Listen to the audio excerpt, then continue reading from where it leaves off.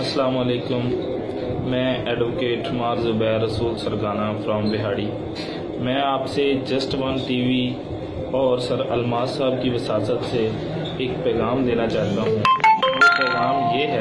सबसे पहले तो ये है कि कोरोना वायरस की वजह से जो आप ज़्यादा परेशान हैं, इस हद तक परेशान ना हों, क्योंकि ये बीमारी जो है, इस पे काबू पाया जा सकता है। बिहाड़ी में एक मशहूर केस आया है, वो उमर फ़रूक नाम का पेशेंट था, जिसके जो ऑनर था, मारिया भी मशहूर डिज़ाइनर कंपनी का, वो पकड़ा गया। उसके खिलाफ एफआईआर भी हुई, पूरे मुल्क में इस बात का पता चला।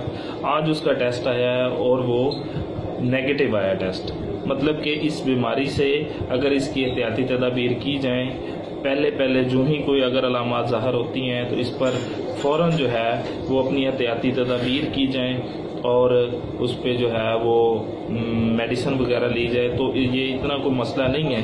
तो नेक्स्ट आपसे ये मैं बात करना चाहता हूँ कि यहाँ बिहाड़ी में जो है वो डिप्टी कमिश्नर साहब बिहाड़ी ने एक अपना तमाम जो है मेडिकल स्टोर्स तमाम होटल्स तमाम करियाना स्टोर तमाम जो हैं वो सब्ज़ी फरोश, उनके जो है काफ़ी सारी शॉप्स के जो नंबर वो पब्लिश किए हैं सोशल मीडिया पे, ताकि जो लोग हैं वो घर बैठ के अपने जो है वो साजो सामान घर की ज़रूरियात का जो भी सामान है, वो घर बैठ के फ़ोन करें और होम डिलीवरी उनको पहुंचाई जा सके, ताकि लोगों को रश ना हो और लोग इकट्ठे ना हों, जिसकी वजह से इस वबा के फैलने का खतरा हो।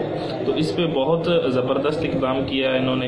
ये तमाम जो ज़िला के हैं, उनको ये इकदाम करने चाहिए, ताकि इसकी जो है, वो बर वक्त इसको, इस वबा से बचा जा सके और इसको फैलने से बचाया जा सके। इसके अलावा जो है, वो मैं आपसे ये शेयर करना चाहता हूँ कि आप इसकी तमाम एहतियाती तदाबीर जो हैं, उस पर जो है, वो मुकम्मल तौर पे अमल करें। इसको बिल्कुल इजी ना लें और इस पे जो है वो हर तरह से एहतियात करें, घर से बाहर निकलते वक्त मास्क का इस्तेमाल करें, हाथ धोएँ, वापस आए, हाथ धोएँ। और जो कोई लोग अगर आपसे मिलते हैं, मुसाफा करते हैं, उससे इज्तनाब करें और उनको समझाएँ। थैंक यू अल्लाह हाफिज़।